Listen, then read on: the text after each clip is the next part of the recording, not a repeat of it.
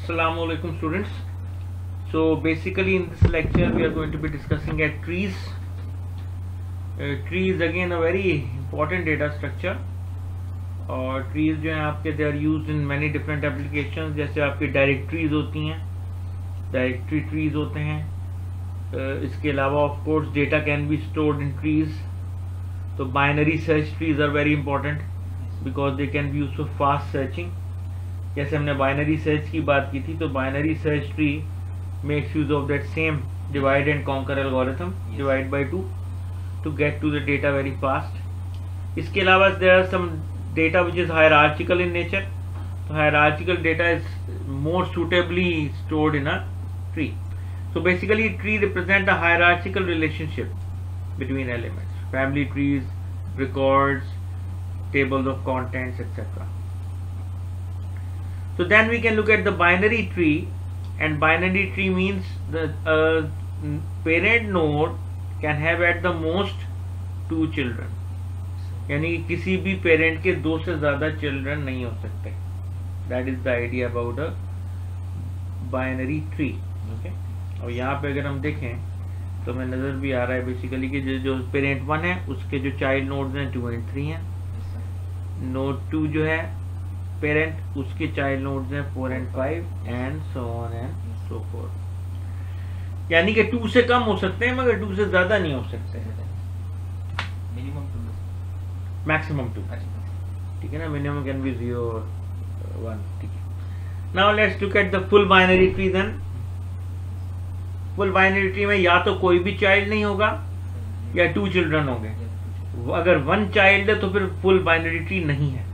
तो parent two का single child है four so it is not a full binary tree ठीक है यहाँ पे लेफ़्ट हैंड साइड पे तमाम पेरेंट्स के टू चिल्ड्रन है या ज़ीरो चाइल्ड है. इस पेरेंट का ज़ीरो चाइल्ड है. तो it is a full binary tree sir अगर इसमें यानी कि एक आ जाता थ्री में तो ये not a full not a full हो जाता बिल्कुल. जैसे यहाँ पे हुआ पेरेंट टू का सिंगल चाइल्ड हो गया. Good of course then we can look at a complete binary tree A complete binary tree में क्या होता है? Tree having maximum number of nodes at all levels except the last level which is left justified. अब अगर हम देखें तो जो वन पेरेंट है उसके टू चिल्ड्रन हो सकते हैं एकदम। ठीक है? तो कंप्लीट बाइनरी ट्री में होगा कि अपर जो लेवल्स हैं वो तो फुल होंगे.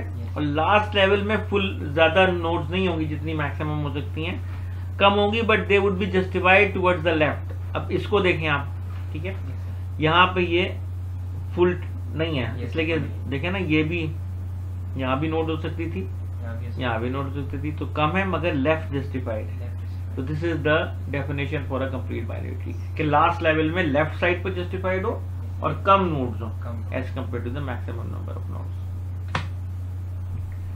then we look at the perfect binary tree और परफेक्ट बाइनरी ट्री क्या होता है? A tree having maximum number of nodes at all levels तो सब लेवल अगर कंप्लीटली फुल हो तो क्या कहलाएगा? परफेक्ट बाइनरी ट्री क्या मतलब है?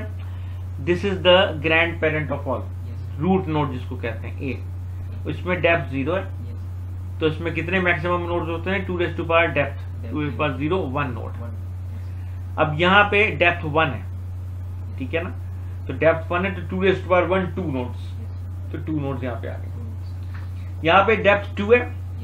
फोर हो फोर हो सकता है तो फोर नोड्स है तो कंप्लीट नोड यहाँ पे two raise power three eight तो complete sorry perfect binary tree है इसलिए क्या मैक्सिमम नंबर ऑफ़ नोड्स हैं तमाम levels this is a good exercise और इसमें हमारे पास कुछ ट्रीज दिए गए हैं we are trying to find out whether they are complete binary both या none based on our criteria अच्छा जी अब ये जो है बेसिकली इसमें फुल में क्या देखा था हमने बोला? फुल बाइनरी ट्री में? ज़ीरो होता है या टू होता है? गुड और कंप्लीट में लेफ़्ट जस्टिफिकेशन होती है। ठीक है जी। तो क्या ये फुल है?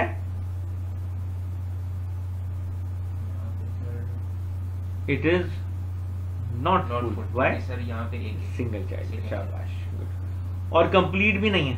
इसलिए राइट साइड पे जस्टिफिकेशन है। नोट्स लेफ़्ट साइड पे नहीं है। ठीक है।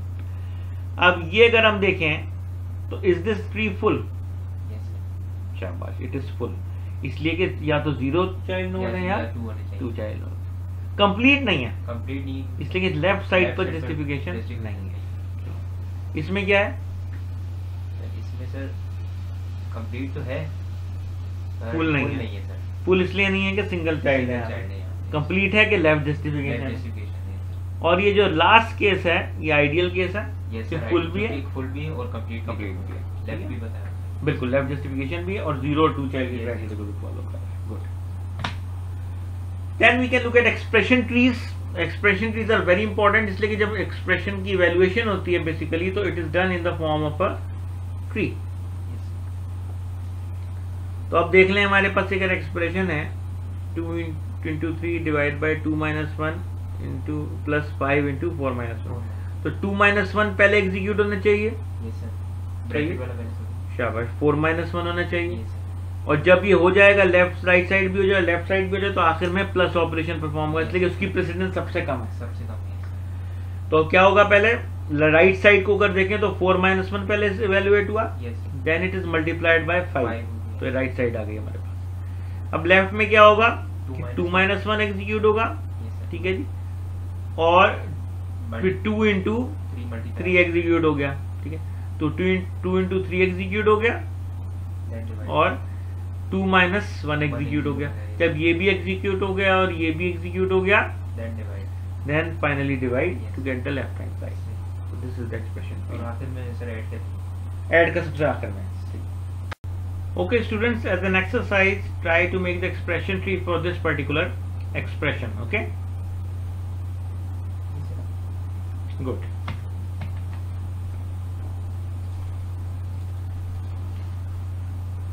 Now there's another expression tree. You can check this and verify right?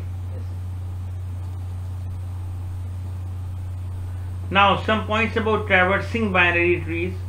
traversal is an activity way be visit visit visit uh, node of yes, of a तो जब traversing की बात आती है तो there are can be different traversal based on the structure of the tree ठीक है?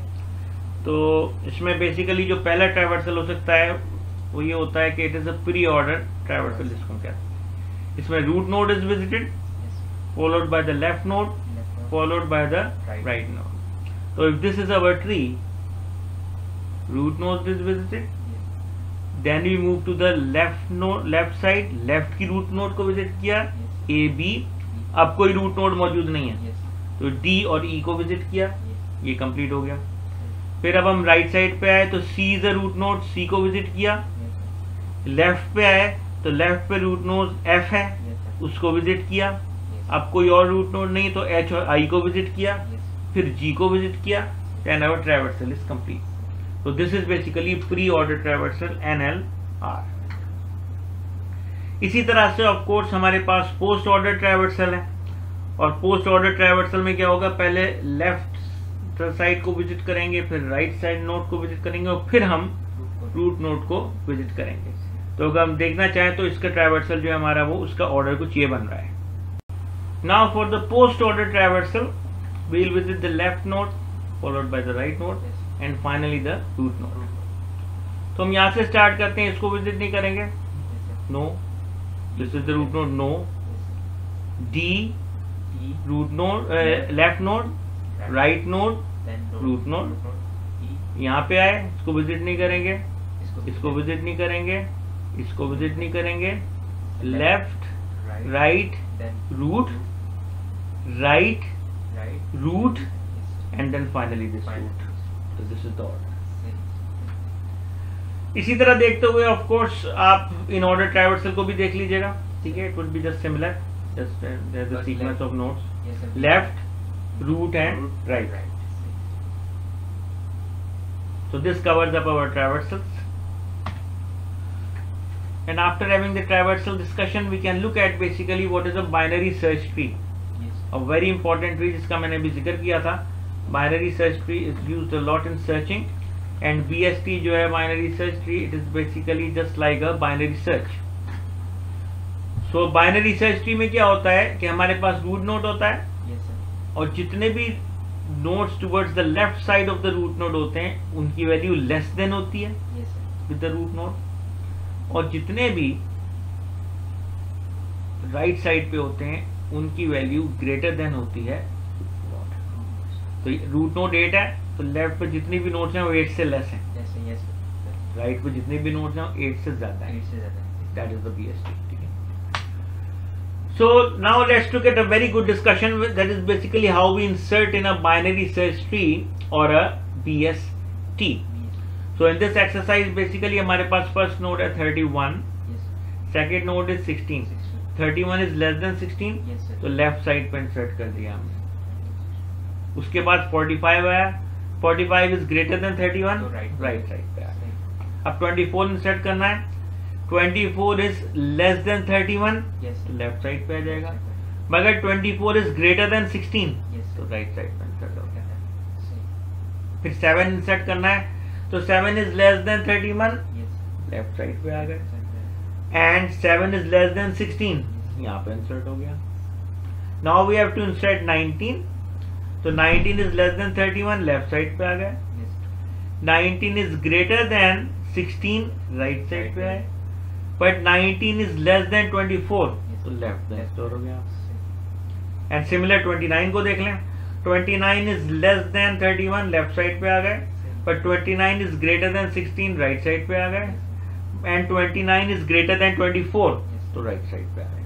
So this is how the insertion is taking place. So after having discussed about insertion in a binary search tree let's now look at the process of deletion in a binary search tree. अब binary search tree में जब deletion की बात आती है तो ज़ाहिर है डिलीशन के वक्त basically there can be different conditions of the node which is deleted ठीक है जी? एक कंडीशन पहली होती है कि the node that we are deleting does not have any child जैसे नोट 24 है।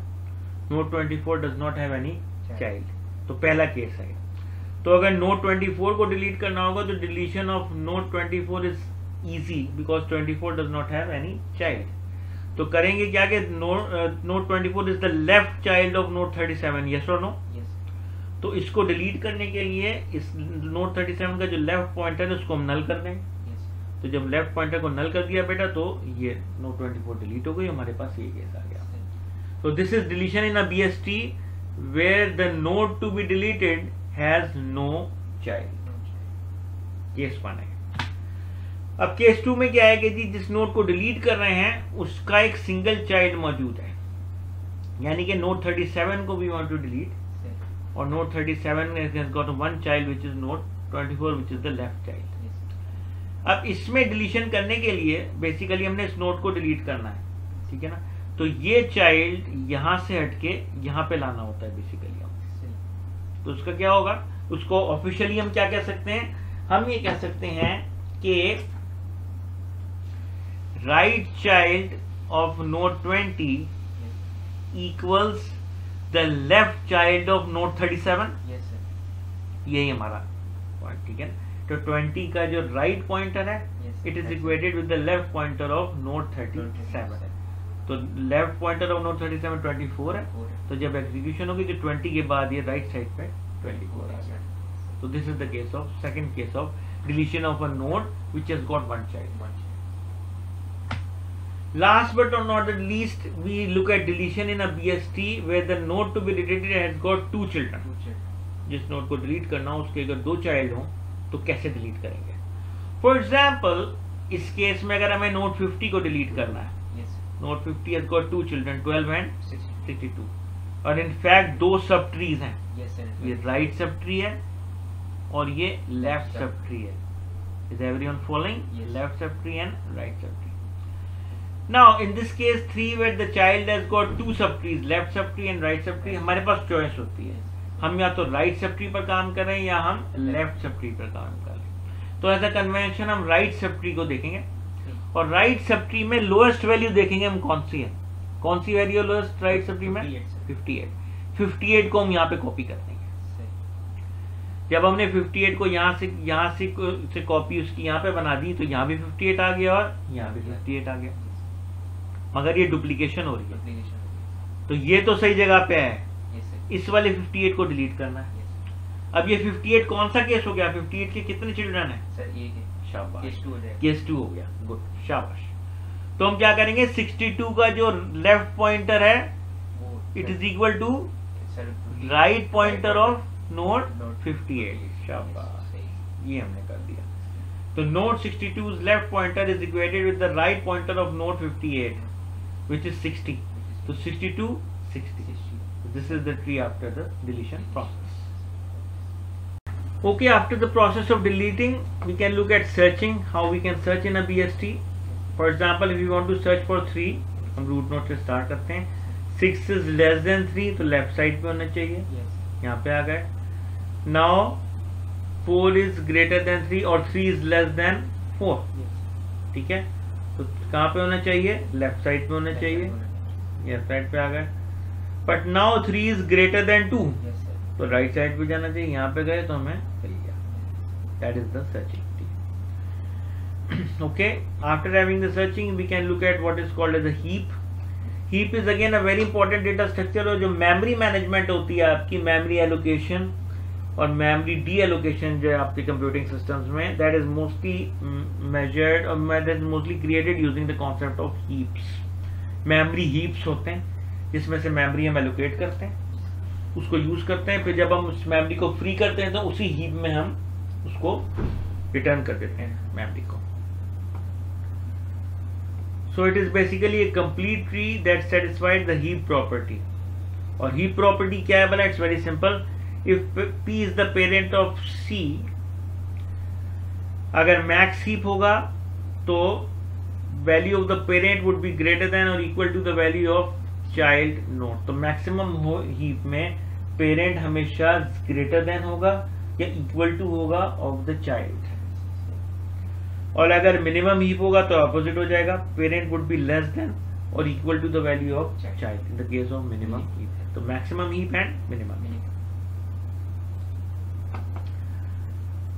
अब ये देख लें इसमें मिनिमम ही प्रॉपर्टी सेटिस्फाई हो रही है कि नहीं हो रही है? Parent is less than child parent less than child parent less than child parent less than child every parent is less than every child ये नहीं हो सकता कुछ हो कुछ ना हो। सबके सबको सेटिस्फाई करना ये वही चीज़ बताई गई जो हमने ऑलरेडी देख ली है। ठीक है ना? मैक्स देख लें। Every parent is greater than greater than child greater than greater than greater than greater than इसी तरह से मैक्सिम प्रॉपर्टी होगी। अब ये बड़ा इंपॉर्टेंट इंटरेस्टिंग क्वेश्चन है इसको हम जरा करेंगे इसको जरा नोट कर लें कॉपीज में। Okay so when we have to insert in a maxi this is our array we have to insert into a maxi तो first node is ten ten को हमने यहाँ पे सेट कर दिया afterwards of of course we have to insert five five is less than ten तो 10 के under आ गया। यहाँ पे लेफ़्ट और राइट का कॉन्सेप्ट नहीं है। सही है? ये सीक्वेंशियली फिल करते हैं left to right left to right ठीक है? फिर वन आ गया तो वन कहाँ पे आएगा? टेन के राइट पे चला जाएगा। इधर आ गया। उसके बाद सेवन आया ये लेवल फिल हो गया है तो सेवन यहाँ पे इंसर्ट हो जाएगा। ठीक है? अब सेवन इंसर्ट हो गया फाइव यहाँ पे सेवन है। मगर है मैक्स सीप में इसको बड़ा होना चाहिए इसको तो छोटा होना चाहिए? तो ये जो शेडेड है ये स्वैप हो जाएँगे यहाँ तो यहाँ पे सेवन आ गया यहाँ पे फाइव आ गया ठीक है? इसको नोट करें sir and try to complete this okay now we have to insert four तो four is inserted to the right of seven so this satisfied the property so no problem of course उसके बाद क्या है हमारे पास? उसके बाद है three we have to insert three तो थ्री हमने वन के लेफ़्ट पे इंसर्ट कर दिया। बिल्कुल थ्री प्रॉपर्टी हुआ स्वैप हो गया। उसके बाद ऑफ़ कोर्स एट इंसर्ट होगा। एट जो है थ्री के उसमें राइट में होगा। एट जो है वो थ्री के राइट में होगा। अगेन प्रॉपर्टी वायलेट होगी तो स्वैप हो जाएगा। Is the final thing then of course two would be inserted two would be okay इसलिए कि two would be inserted to the left of five उसके बाद सिक्स इंसर्ट होगा to the right of this. Swap हो गया। ठीक है? और finally we have nine 9 is basically inserted to the left of 4 left four तो ये वायलेट हुई प्रॉपर्टी तो स्वैप हुआ. नाइन फोर अब दोबारा प्रॉपर्टी वायलेट हो रही है। Yes. यहाँ पे सेवन है यहाँ पे नाइन डबल स्वैप होके नाइन यहाँ पे आ गया। सेवन यहाँ पे आ गया this is the final max max heap है and it's following the property of the max heap.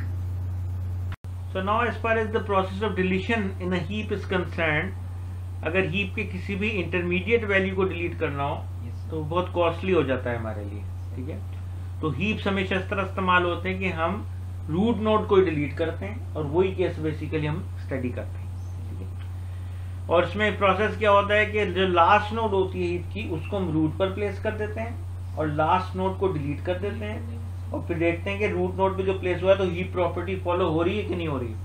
If the heap property is not following then we can heapify it ठीक है? एग्जांपल देखते हैं.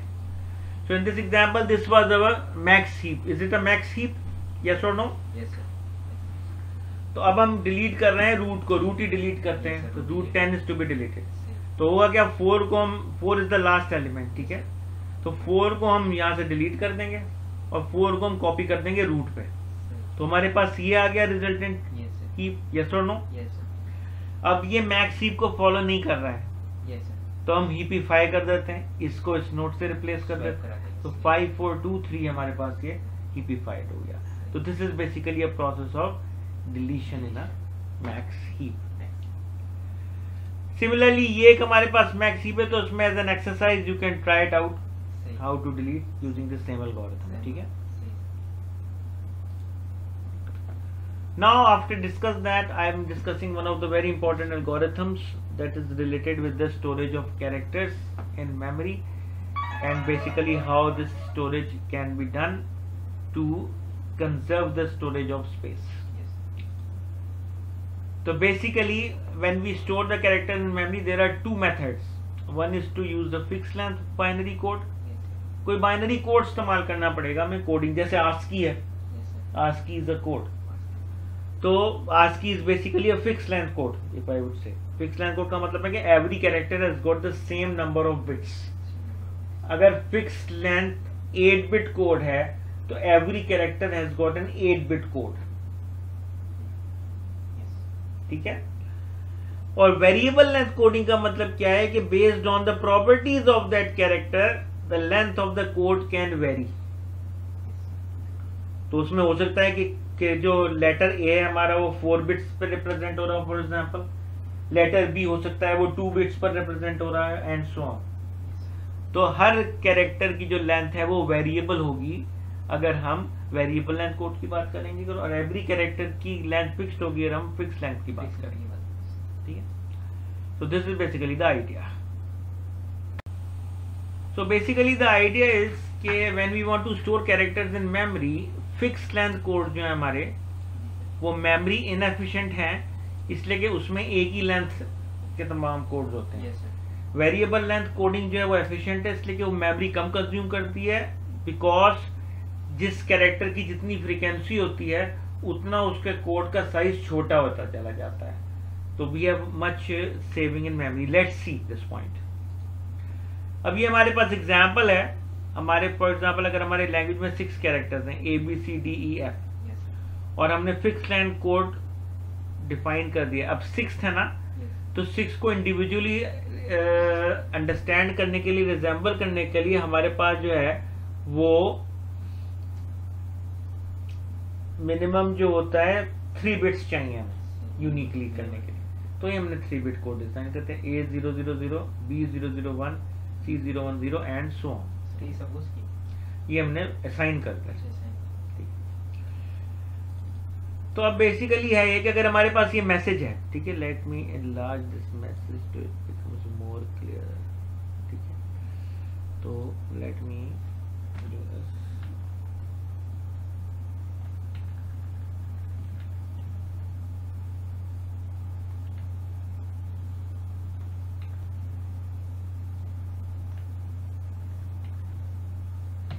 so now this is our message. ठीक है? अब इसमें every character has got कितने bits three bits तो टोटल नंबर ऑफ़ कैरेक्टर्स कितने हैं इसमें? अगर हम काउंट करें तो हमारे पास 27 आएँगे टोटल कैरेक्टर्स ठीक है? और चूँकि हर कैरेक्टर के कितने बिट्स हैं? थ्री तो टोटल मैसेज की जो बिट्स हो गए वो 81 81 बिट्स हो गए गए। 81 bits are required to save this message in memory using this fixed Yes, sir. 3 अब now let's look at how we can store the same message using variable length codes. और variable length codes का advantage ये है कि variable length codes में basically हमारा जो bits के जो नंबर ऑफ़ बिट्स हैं वो कम हो जाएँगे बेस्ड ऑन द फ्रीक्वेंसी तो उसके लिए सबसे पहले क्या करेंगे, हम कैरेक्टर्स की फ्रीक्वेंसीज निकालेंगे।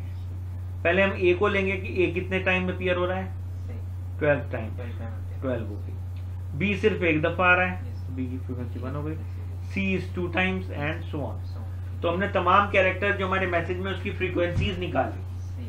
तो after having those then we can use something which is called as the Huffman algorithm to determine our code for this kind of scheme और हफमैन कोडिंग एल्गोरिथम जो है वो लॉसलेस डेटा कंप्रेशन एल्गोरिथम है। और lossless का मतलब ये है कि whatever we compress we can get hundred percent back कोई चीज़ हमारे पास लॉस ही नहीं होती। जैसे इमेज कंप्रेशन की बात करते हैं ना इमेज को आप जेपैग में कन्वर्ट करते हैं। तो JPEG is a lossy conversion इसलिए कि जब आप दोबारा कन्वर्ट बैक करेंगे तो कुछ क्वालिटी का लॉस होगा। पूरा डेटा में नहीं मिलेगा। पिक्सल वगैरह पिक्सल वगैरह बढ़ जाते हैं बिल्कुल और आपकी रेजोल्यूशन कम हो जाती है। तो हमारा आइडिया क्या है? We sign variable length codes to the input characters और जो लेंथ होगी वो किस पे डिपेंड करेगी? फ्रीक्वेंसी ऑफ़ द कैरेक्टर्स पर डिपेंड करेगी। जैसा मैंने पहले बताया हम देखेंगे जिस कैरेक्टर की फ्रीक्वेंसी ज़्यादा होगी उसकी लेंथ ऑफ़ कोड कम हो जाएगी। और जिसकी फ्रीक्वेंसी कम होगी उसकी लेंथ ऑफ़ कोड ज़्यादा हो जाएगी। That is the idea so it is an optimal static technique for data compression using binary codes क्या चीज़? Huffman coding so now let's look at this example हमारे पास ये एक सीक्वेंस था इसकी हमने फ्रीक्वेंसी निकाल ली है ठीक है? तो आप लोग काम करेंगे, इसकी फ्रीक्वेंसी को जरा नोट कर लें, फिर आगे कंटिन्यू करते हैं। So now based on the frequency would be creating a tree which is called as the Huffman encoding tree और उसको कैसे करते हैं? The idea is very simple first of all what we do let me enlarge it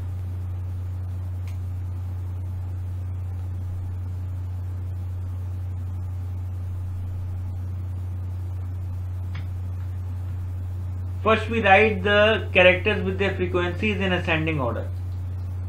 ठीक है तो ये ascending order में हमने नोट्स को और उनकी फ्रीक्वेंसीज को ली तो तो left most two nodes minimal frequency की नोट्स हैं, उनको ऐड कर लिया हमने इसको ऐड किया तो वन प्लस टू थ्री आ गया। थ्री आ गया हमारे पास अब थ्री जब हमारे पास आ गया तो थ्री का जो रिज़ल्ट है, उसको हमने रिजल्टेंट ट्री में यू लिख दिया। है ना? थ्री को यही होना चाहिए ना? Minimum again in sorry in ascending order लिख दिया हमने। फिर नेक्स्ट मिनिमम ये थ्री प्लस थ्री है। ये सिक्स हो जाएगा। और सिक्स कहाँ आएगा? फाइव के बाद आएगा। फाइव के बाद आएगा। तो दिस इज़ द आइडिया तो हमने ये किया इसको ऐड कर दिया। तो जब हमारे पास जो रिज़ल्ट आया वो किस तरह से आ रहा है? थ्री और डी थ्री को ऐड करके आ रहा है। और थ्री कैसे आ रहा है? बी वन और सी टू को ऐड करके आ रहा था मगर सी की पोजीशन क्या है? After E five and before A twelve तो ये नेक्स्ट स्टेप में बेसिकली हमने इसको इस तरह से लिख लिया। अब नेक्स्ट क्या करेंगे हम? सर दो इसको कर देंगे नाइन आएगा। Yes. नाइन फिर इधर आएगा। नाइन इधर आएगा it? Yes this is basically how the tree would be तो f यहाँ तक हम यहाँ पे पहुँच गए थे। अब हम क्या करेंगे? F4 और e5 9 आ जाएगा। 9 यहाँ पे प्लेस कर देंगे। तो ट्री कैसे बन जाएगा हमारा? कुछ इस तरह से बन जाएगा। एक स्टेप हमने इसमें किया नहीं है और ये जब हम करके आएँगे तो उसके पास हमारे पास ये आ जाएगा ठीक है? और समझने के लिए हम क्या कर सकते हैं कि ऑफ़ कोर्स ये आया। तो f4 और e5 यहाँ पे कर लें 6 9 लिखो यहाँ पे। ठीक है ना? और इसको आप कर दें। जरा इसको लिखें यहाँ पे बनाए इसको ट्री को। Now it's just let me have a look at it.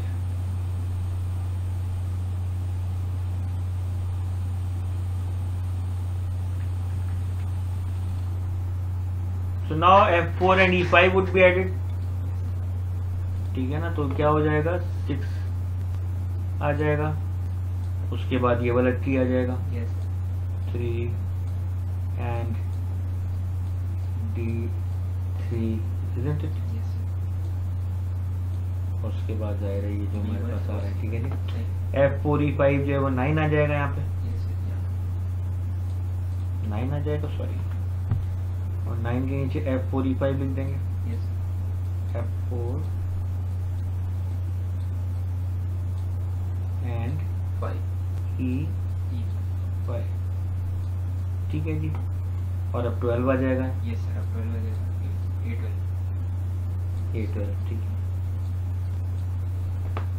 फिर उसके बाद क्या होगा? सर अब सिक्स और नाइन हो जाएगा। ऐड हो जाएँगे। सिक्स और नाइन ऐड होके आ जाएँगे ठीक है। और सिक्स और नाइन जब ऐड हो जाएँगे तो हमारे पास ये फिफ्टीन आ जाएगा। और उसके नीचे फिर ये थ्री आ गया हमारे पास। अब फिफ्टीन जो है ए ट्वेल्व के राइट पे आ जाएगा। वो अब ये दो रह गए। तो एंड द एंड ये दो ऐड होके हमारे पास ऊपर फाइनल रिज़ल्ट आ जाएगा। So this is the final Huffman tree ठीक है? Okay. Now we have created the Huffman tree. Now we just have to assign the codes so that we can find the codes using the Huffman tree so now let's see how we can assign the codes now this is our finalized Huffman tree तो left के जितने links हैं उनको zero assign कर दें और right के जितने लिंक्स हैं उनको वन असाइन कर देते हैं तो ये सूरत हाल आ गई all zeros towards the left all ones towards the right. अब हमने कोड्स निकालने हैं ठीक है तो हमने कोड निकालने हैं तो जिस भी लेटर का कोड हमने निकालना होगा उसका जो पाथ है उस पर वो कोड डिपेंड करेगा रूट से स्टार्ट करेंगे। अब ए तक हम कोड निकालना तो 27 से निकले यहाँ पे ए पे पहुँच गए। तो सिर्फ़ ज़ीरो को हमने ट्रेवर्स किया। तो ज़ीरो आ गया वन बिट कोड अच्छा ज़ीरो वन पर जी ज़ीरो का कोड आ ए का कोड आ गया ज़ीरो. वन बिट कोड अब बी को निकालना है तो बी कहाँ पे पाया जाता है? यहाँ पे पाया जाता है। तो ट्रेवर्स करना शुरू करते हैं बी तक पहुँचने के लिए। वन ज़ीरो ज़ीरो ज़ीरो तो one zero zero zero four bits हमारा किसका आ गया? बी का कोड आ गया। अब एक ऑब्जर्वेशन यहाँ पे देखें आप। सबसे ज़्यादा फ्रीक्वेंसी किसकी थी? सर ए ए की। ए की। तो सबसे छोटा कोड एक का है। सबसे छोटा यस सर ये भी मैं है ना? सबसे स्मॉल फ्रीक्वेंसी बी की थी बी की थी। तो सबसे बड़ा कोड जो है बी है। का है। तो जो हमने पहले बात की. फिर सी निकालने के लिए what we do arrive at C तो सी तक कैसे आएँगे? One zero zero one and so one and so forth तो this is basically how the different codes have been assigned F का देख लें लास्ट एफ़ कहाँ पे मौजूद है? यहाँ पे। Yes, तो एफ़ है जी one one zero one one zero Yes. तो this is basically the Huffman variable and coding अब हमारे पास ये कोड्स आ गए हैं ठीक है? अब हम क्या करते हैं लास्ट स्टेप में हमारे पास फ्रीक्वेंसीज भी मौजूद हैं। Yes, तो हम टोटल नंबर ऑफ़ बिट्स निकालते हैं कि अब हमारा मैसेज कितने बिट्स में स्टोर होगा। तो ए की फ्रीक्वेंसी 12 है और ए का कोड वन बिट का है। Yes, तो 12 into one one into twelve B कितने बिट्स का कोड है? Four bit है. फोर बिट का। और एक दफ़ा आ रहा है? Yes. तो four into one similarly C का कोड कितने बिट्स का है? फोर बिट्स का है। और कितनी दफ़ा आ रहा है? टू तो फोर इंटू टू इस तरह से टोटल हमने निकाल लिए तमाम कैरेक्टर्स को ऐड किया तो 60 बिट्स आया। ओरिजिनल हमारी फिक्स लेंथ कोडिंग में कितनी स्पेस इस्तेमाल हो रही थी? Eighty-one. 81 बिट्स और वेरिएबल लेंथ में हमारी कितनी स्पेस इस्तेमाल हुई? 60 बिट्स तो हमने सेव किया है। और कितना सेव किया है? उसकी कैलकुलेशन हमने ऐसे निकाल ली है। कि 81 minus sixty divide by 81 into hundred which is 25 26 परसेंट 26%. That's a substantial amount of sir. So using the variable length of man coding, we save 26% of space in memory. तो ये एडवांटेज है हमारा इसका वेरिएबल लेंथ कोडिंग का coding का ये कुछ एक्सरसाइज हैं इनको जरा ट्राई कीजिएगा ठीक है हाँ पहले स्पेशल ट्री बना लीजिएगा फिर ट्रेवर्सिंग कर लीजिएगा ठीक है फिर ये एक और एक्सरसाइज है हफ मैन कोडिंग इसके लिए बनाइएगा टेक्स के लिए।